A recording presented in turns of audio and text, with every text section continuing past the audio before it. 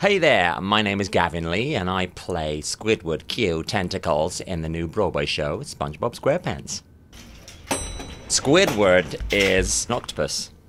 Why he's called Squidward, I don't know. And basically, he's the grouchy neighbor. No. He has these extremely annoying neighbors, one called SpongeBob SquarePants and one called Patrick Star, and all they do is annoy the heck out of him all the time. All he wants to do is practice his clarinet and be a big star. I think most of the SpongeBob fans who watch the TV show and then the ones that come to see the show, they are kind of on Squidward's side. They're like, I can relate to him. Some days you just want to be grouchy and you want to have three cups of coffee before you talk to anyone. That's Squidward. What if it said squid colour? Every time I walk up from Penn Station to come to work, I see about a thousand Squidwards bashing into me as I'm trying to get through Times Square.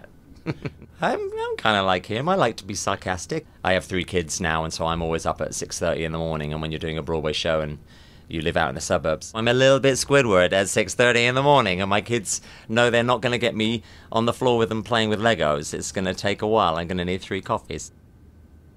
I have these two extra legs that I have to wear. They're pretty heavy. I can't go up and down stairs. They're a big pain, but they're worth it because everyone just comments on these fantastic designed legs that I get to tap dance with four tap shoes on, and it's it's really cool. The costume is really cool, and it's nice that I actually don't have to change.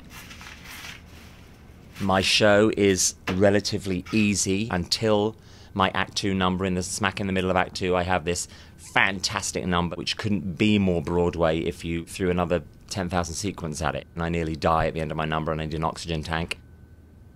I love doing eight shows a week at the ripe old age of 46. My first professional job, I was 20, so we're talking 26 years of doing this. And I've been really lucky, but there's been some years where there's nothing going on and I haven't got a job.